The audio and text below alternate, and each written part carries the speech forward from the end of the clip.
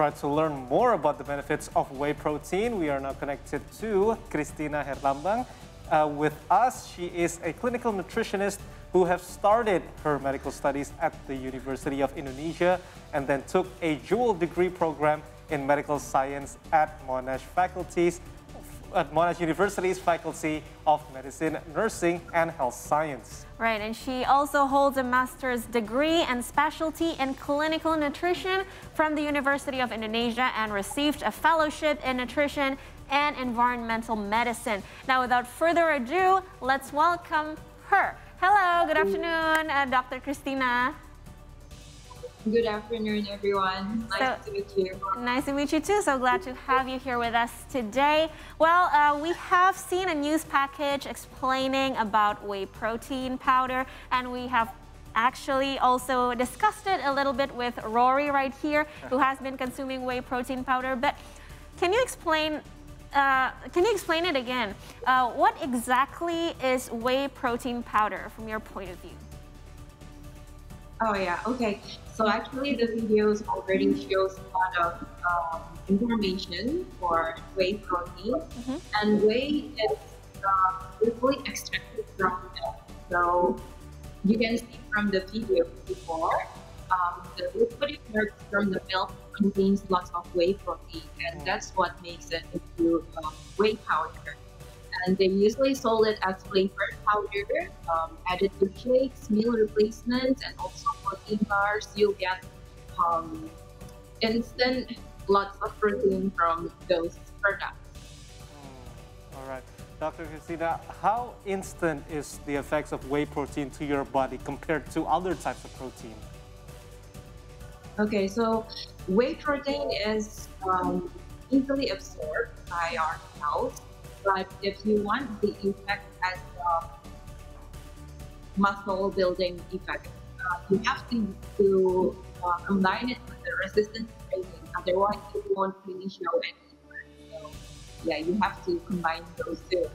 Actually, there's been a study in older adults with adequate gluten so that resistance training, and there was no difference in muscle growth when supplementing with whey protein carbohydrates.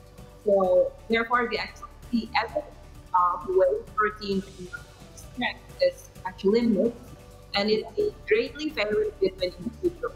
So if you're already eating lots of proteins from fish, from eggs, and mm. other dairy, high quality proteins, um, the benefits of adding whey protein probably be minimal, not mm. really.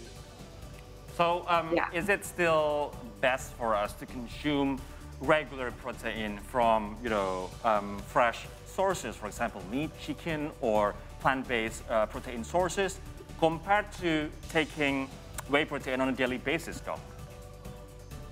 Yeah, the whey protein powder, what our concern is actually the quality of the products because we know there are lots of brands, there are lots of um, products that contain lots of sugar mm. and additives, and that's what we are concerned about. Um, as for the natural food they contain um, protein and they don't have the additional risk, you know, from the sugars and all right, uh, my next question would be, is whey protein necessary uh, when it comes to doing workouts? The necessary, um, the necessary here is actually to maximize your protein intake. So we have to know what our um, for example, if you uh, are weight, aim for 1.2 to 1.5 grams of protein per kilogram a day. Um, and to achieve that number, we can use whey protein. But again, we should monitor, monitor the function and also other metabolic parameters within our body. Otherwise, we get damage. All right. Yeah. So, Dr. Kristina, that comes to uh, my next question. Can we ever replace uh, other proteins just with whey protein? Is that going to fulfill what we need uh, in our body? Well, whey protein has complete amino acids, so we can actually use whey protein. But uh, again, we remember how the make the whey protein. They really has a lot of sugar, so mm. it won't be necessarily beneficial right, right. for us.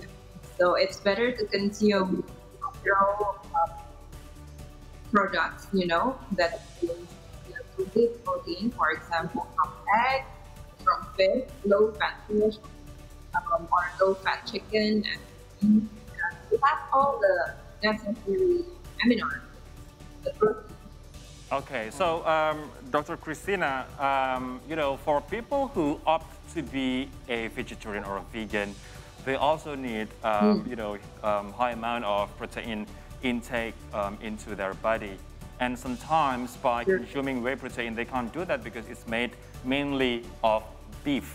Um, do you have any recommendation for vegan or vegetarian people in getting sufficient uh, protein intake? What should they consume?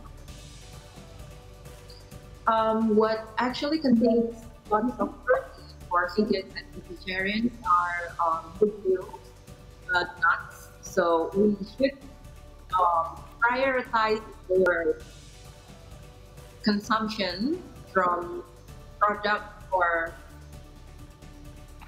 vegetables that contains lots of protein. For example, legumes and, and also like lentils, they contain really lots of um, protein.